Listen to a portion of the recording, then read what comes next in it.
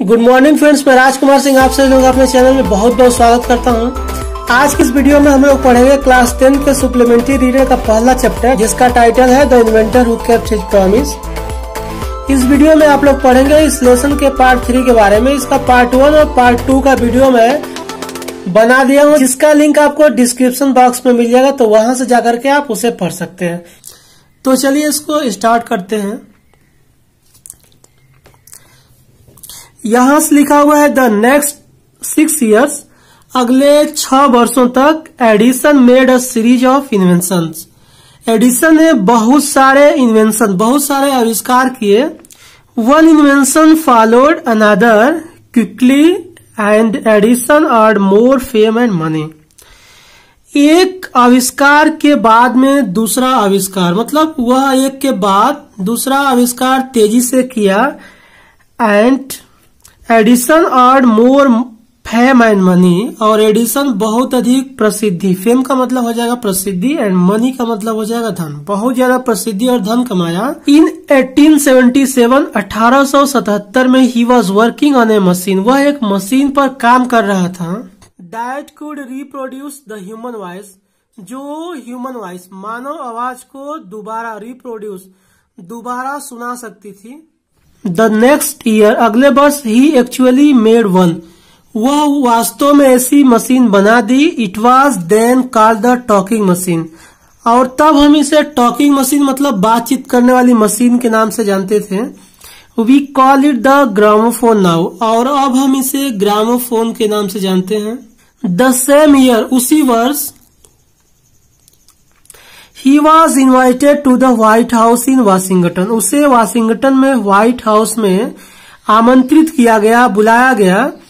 That is the name of the house White House करा कि उस घर का नाम है where the president of the United States of America lives जहाँ पे यूनाइटेड स्टेट्स ऑफ़ अमेरिका के राष्ट्रपति रहते हैं Edison went there to show his new machine to the president Edison वहाँ पे अपनी नई मशीन को वहाँ के प्रेसिडेंट, राष्ट्रपति को शो मतलब दिखाने के लिए गया।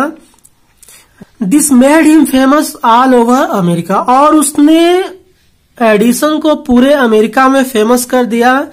Now he was successful and prosperous और अब वह सफल तथा प्रॉस्परस मतलब हो जाएगा समृद्धशाली। तो अब वह सफल तथा समृद्धशाली व्यक्ति थे। He owed all this to his mother's help and encouragement and to his own hard work.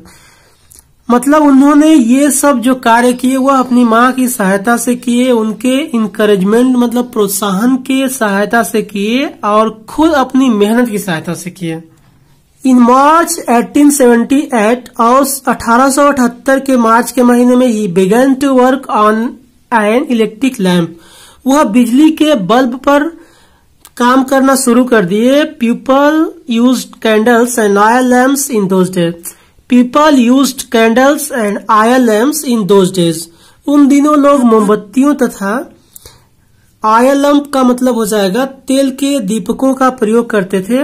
They did not have electric lights और उनके पास बिजली की रोशनी नहीं थी। Edison promise to give them electric light to in two years Edison ने उन सबसे वादा किया कि वह उनको दो वर्षों के भीतर भीतर बिजली का प्रकाश देंगे।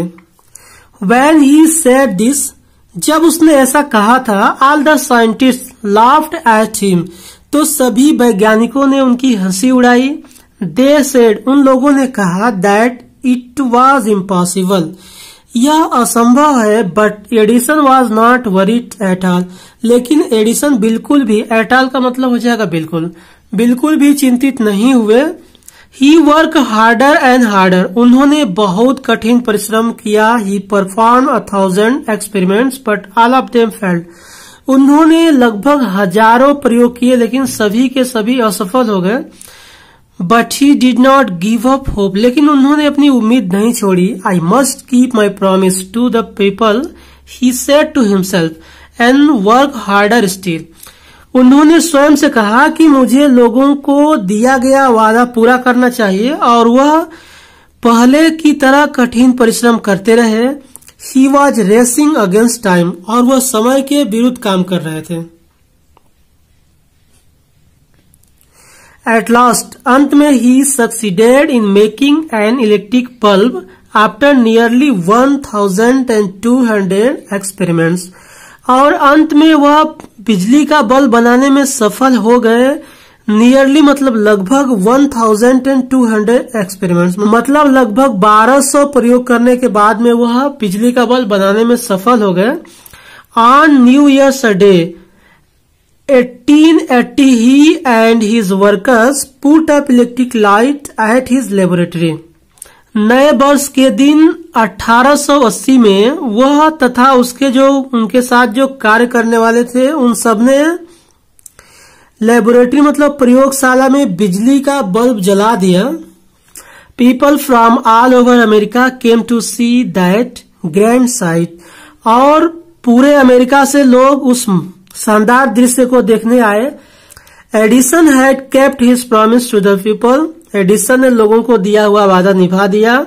ऑन फोर सितंबर 1882 और 4 सितंबर अठारह सौ बयासी को फॉर द फ़र्स्ट टाइम पहली बार New York shone in the brightness of electric light पूरा न्यूयॉर्क जो था, वह बिजली के बल्ब की रोशनी में चमक उठा।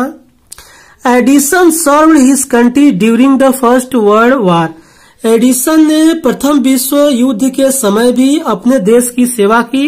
He made forty war time invention and was awarded a medal for his service उन्होंने युद्ध के समय फोर्टी वार मतलब कि 40 आविष्कार किए और उन सबके लिए उन्हें एक मेडल एक पदक भी दिया गया। In 1929 the silver jubilee of the invention of electric bulb was celebrated in a grand manner उन्नीस में द सिल्वर जुबली मतलब रजत जयंती, मनाई गई आप the invention of electric bulb मतलब बिजली के बल्ब के आविष्कार की जो रजत जयंती थी, वो उन्नीस में मनाई गई। इन ए ग्रैंड मैनर मतलब एक शानदार तरीके से the president of United States of America. United States of America के राष्ट्रपति received he man honoured he मतलब उनका सम्मान किए एट अ बिग फ़ंक्शन एक बहुत बड़े समारोह में Edison got up at the function to thank the president but suddenly fell ill Edison got up Edison उठा एट द फ़ंक्शन उस समारोह में टू थैंक मतलब धन्यवाद करने के लिए द प्रेसिडेंट राष्ट्रपति का बट सडनली फेल इल लेकिन अचानक से वह एकदम बीमार पड़ गए। हिज इलनेस विकेम वर्स और उनकी जो बीमारी थी वह पहले ज़्यादा बढ़ गई। And he died on Sunday morning of 18 October 1931 और 18 अक्टूबर 1931 के रविवार के सुबह उनकी मृत्यु हो गई। Thus ended the great and eventful life of a man who enriched human life and happiness इस प्रकार से उस महान व्यक्ति के जीवन का अंत हो गया। हु रिच्ड जिन्होंने बना दिया था, समृद्ध कर दिया था ह्यूमन लाइफ मनुष्य के जीवन को एंड हैप्पीनेस और उनकी खुशियों को। जिन्होंने मनुष्य के जीवन तथा उनकी खुशियों को बढ़ा दिया था। ही सैड वंस उन्होंने एक बार कहा था I shall never invent anything which will destroy life मैं ऐसे आविष्कार कभी नहीं करूँगा जो जीवन का विनाश करेगी। I want to make people happy और मैं लोगों को प्रसन्न करना चाहता हूँ। ही ऑल्सो सैड उन्होंने ये भी कहा the world has been in darkness too long ये जो हमारा संसार वो बहुत समय से अंधेरे में है। I would like to give to the world more laughter and more light मैं चाहता हूँ इस संसार को बहुत ज़्यादा हँसी लाफ्टर मतलब हँसी देना एंड मोर लाइट मतलब बहुत ज़्यादा प्रकाश देना। मतलब मैं इस संसार को बहुत अधिक हँसी तथा बहुत अधिक प्रकाश देना चाहता हूँ। ही कैप्ट हिज वर्ड और उन्होंने अपना वर्ड मतलब वचन निभाया। His gramophone has brought us more laughter उनके ग्रामोफोन ने हमें बहुत ज़्यादा हँसी प्रदान की है। एंड हिज इलेक्ट्रिक लैम्प और उनके बिजली के बल्ब ने has given us more light हमें अत्यधिक प्रकाश दिया है।